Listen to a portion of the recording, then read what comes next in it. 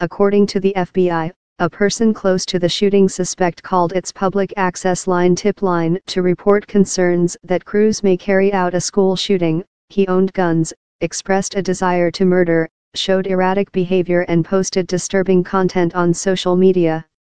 Authorities say Cruz opened fire on students in Marjory Stoneman Douglas High School in Parkland, Florida, killing 17 people and injuring dozens more.